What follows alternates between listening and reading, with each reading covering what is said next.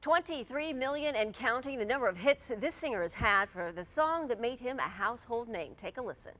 So where was the passion you needed the most?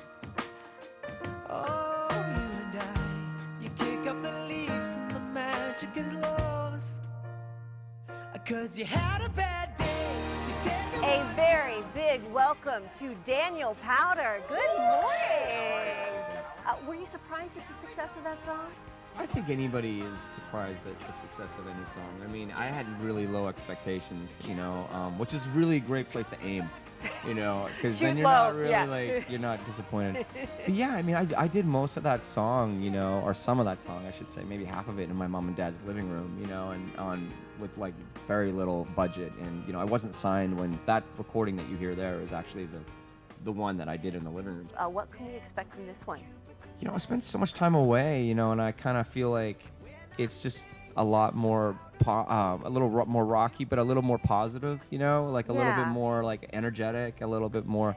I kind of got tired of writing about songs about myself, you know, and so I started writing songs that I think people can see themselves in, you know. I think it's really important to me as a songwriter to be able to like have a song that someone can walk up to me and go, "Oh, I had that exactly the same experience," you know. And the song Cupid was inspired by a couple that you saw, is that right? It's kind of yeah that and and just the fact that I'd gone through this like long divorce and I wanted to sort of you know feel those feelings again. You know, I felt kind of lonely and I was a little bit depleted and dejected. So I I wrote a song that kind of inspired me to kind of get off my feet and stop feeling sorry for myself. okay, what's Right. the what's the craziest fan story you can share with us? The craziest one, I would say.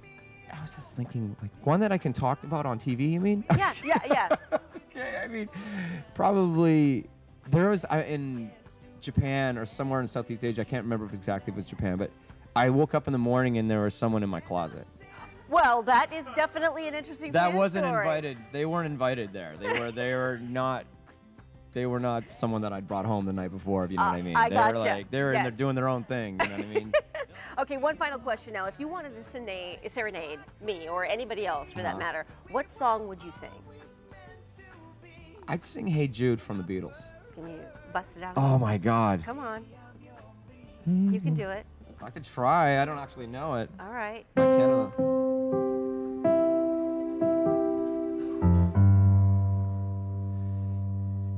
Hey, hey, Jude,